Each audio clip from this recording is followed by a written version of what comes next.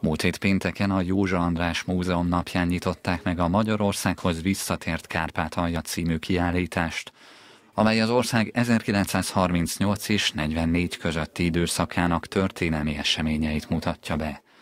A tárlat témájával kapcsolatban kedden tudományos konferenciát tartottak az intézmény dísztermében. Ez egy rollapos kiállítás, amely Kárpátalja történetével, még ennek a időszakával foglalkozik 1938 és 44 közötti időszakkal, és ugye ennek a kiállításnak az anyaga, ez tíz tablót ölel fel, aki egy kicsit bővebben szeretne erről tájékozódni, ezért szerveztünk egy tudományos szimpóziumot, és a szimpóziumon pedig négy előadás hangzik el. Ez ennek az időszaknak a politikai, gazdasági, hadtörténeti és kulturális eseményeivel foglalkozik.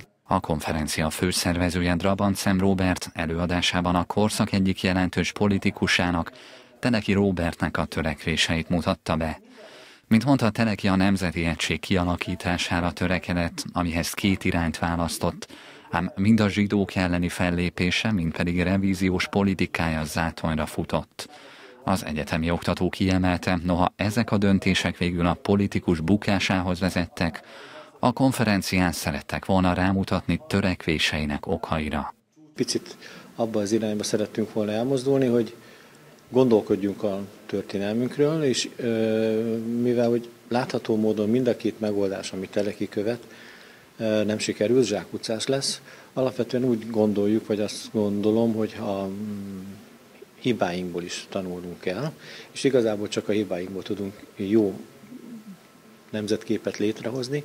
A célunk az lett volna, hogy rámutatva ennek a hibának a, a lehetőségeire, a céljaira, és ez, ennek a tartalmát elemezve eh, próbáljuk a nemzetfogalmat egy új értelmezési keretben lerajzolni, elvázolni.